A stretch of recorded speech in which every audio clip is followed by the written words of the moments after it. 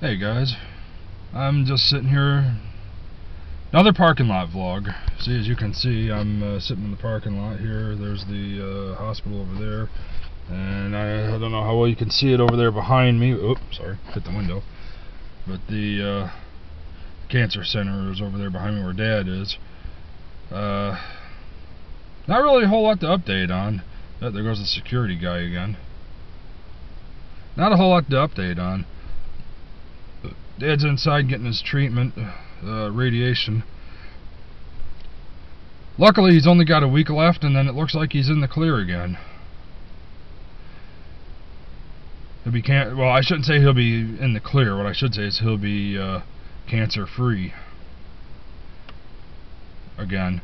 Uh, luckily, everything looks good at this point. He's uh, He's only got, he had his uh, second to last chemo treatment yesterday. He'll have one more chemo treatment next week on Tuesday. And then I think Wednesday of next week is his last radiation. And then he should be pretty much uh, free of cancer again. Um, it's nowhere near as rough for him this time around as it was the last time. So, it looks like he's going to be okay this time. So I'm uh, I'm relieved. Because whenever you hear about anybody having cancer, the first thing I always think is, oh my, you know, I don't I don't usually think the worst. I expect the worst, but I never hope for it. I always hope for the best. Expect the worst, hope for the best. That's be or I shouldn't say expect the worst, be prepared for the worst would be more like it. But you know what? A lot of people could tell you, oh, you should prepare for the worst. You know what? You can never prepare for the worst. When the worst actually happens, you could prepare for it all you want to. It's still going to hit you. And you're still going to take it hard when you lose a loved one. Uh, a very good friend of mine in Vermont is going through that right now. Uh, she lost her grandmother in August, and uh, now her grandfather is pretty much dying of cancer. I have absolutely no idea what it's like losing both grandparents in one, especially in one year. I I know what it's like to lose my grandmother. I know what she was going through there. Because my grandmother was sick for a long time before she passed away. But my grandfather is still alive and well. In fact, after I'm done taking Dad, uh, you know, Dad's done with his radiation here and I take him back home, I'm going to be heading over to actually cut his grass for the last time for this year. Which, probably going to be mowing up a lot of leaves too. And then I'll be going out to breakfast with him like we do every Wednesday. And, uh, but that's, he's alive and all. But I have no idea what my friend is going through right now. And I from found out from her that, uh, I guess a friend of hers, uh, uh, had just committed suicide on Halloween night. Poor girl's going through a lot. I I'm trying to be here for her, but she's she's going through so much. It breaks my heart that I'm not there's I I'm not able to help her like I want to, but on the other hand, I can only be here for her, you know, so much unless she accepts my help, and she really isn't right now. She appreciates that I'm here for her. She knows I am. But, um, I don't know. I got a couple people walking right by the car right here. uh, I just totally son of a bitch record them. Anyway, uh, uh, let's switch hands so you can see me from the other angle. I got the, uh, I'm resting my hand on the steering wheel right now. Um, yeah, but she's gone through a lot. She's been through so much. Like, she's just been through so much in her life, period. And, uh, I don't really know what else to say. I care a lot about her. I mean, she means a lot to me. She's a very good friend of mine. And, uh, just to see her go through all this, and unfortunately, like I said, she lives in Vermont, so it's not like I can, you know, physically be there for her, you know, to actually, you know, give her a hug and let her cry on my shoulder or, or you know, whatever. It's tough for me because I want to be there for her, but uh, I'm here. Uh, you know, she knows I'm here for her. She knows she can talk to me.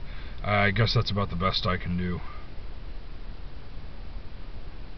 And, wow, that car is beat up. I'd show that to you on camera, but uh, uh, well, now that it's passing, I don't want to show its license plate. Anyway, um, I just she's been dealing with so much. I mean, I know she's been miserable. She claims that she's happy, but she's I know she's been miserable. And she just seems to be anybody who wants to help her, she just seems to be uh, there, let's switch back over to the other. Anybody who wants to help her, she just seems to be pushing away. So, the best I can do is I just be here for her, and that's pretty much it. Just like I'm there for all of my friends, uh, including you, Mitch. I know you've been kind of going through a rough time recently too. I mean, you're, uh, I mean, you're getting dicked over at your job, and you're trying to find something else. And I feel for you, man. I do. I'm lucky. I'm very lucky to be uh, the job I have. It's not much of a job. You know, I don't get paid much, but it's something which is better than nothing, and I'm happy to have it because of what it what it is I do there. You know, I'm I'm happy with it. I'm I don't have to deal with a lot of people. Actually, I don't really have to deal with anyone. I work there by myself. For those of you that don't know who are watching this right now, I am I I run an American Legion hall for the American Legion. I run it for their post, and uh, Dad is actually the hall manager. But of course, because he's going through all of this stuff right now, he's not really able to deal with that. Uh, I actually took over running it for him uh, when he had his first bout with cancer in 2009, in the spring of 2009. So I've been actually running the hall for two and a half years now. That's a hell of a long time. And I worked there. Uh, I, he did it for from May to 2008 to winter of 2009. So he did it for almost a year before he started in with the cancer. And then I took over, and I've been doing it ever since. Because obviously, you know, he's not able to do most of it anymore. Even, you know, he had limited capacity, only being able to, you know, because when they with this, um, I, am stumbling around, guys. I've been, uh, I've had a lot on my mind lately, and that's part of why I'm making this video. I'm just kind of, uh, I know I'm kind of scattered with what I'm talking about, but it's kind of the way my brain operates. Um, only breathing on, you know, with less than half of his capacity, since with the surgery with his first round of cancer, they took his right lung, which is the bigger of the two lungs. So, I there between their with the human lungs, between both of our lungs, we have five there's two chambers in one lung and three chambers in the other lung or three uh, three sections or whatever you want to call it they took the the right lung is the lung with the three sections that's the bigger lung that's the one they took so dad is literally breathing on two-fifths of his breathing capacity of what he you know, two-fifths of the capacity he had before that's not good he's learning to live with it though he's just he doesn't have the uh, the capa there goes the uh, there goes the security dick again. he just doesn't have the breathing capacity he had before. Uh, so I mean, a lot of the physical work at the hall, like moving tables and chairs around and the, doing a lot of the cleaning, he just simply doesn't have the energy to do it anymore. So I, I'm I'm able to do it. I like working at the hall though. I mean, it's really not bad. I don't have to answer to anybody really. I I've never been real comfortable working in around a lot of people. So the fact that I work there alone most of the time is fine by me. I can crank up the television, I can relax, I can take this camera with me or whatever, I can make videos while I'm there and nobody, you know, nobody bothers me. That's a big thing. Nobody there bothers me.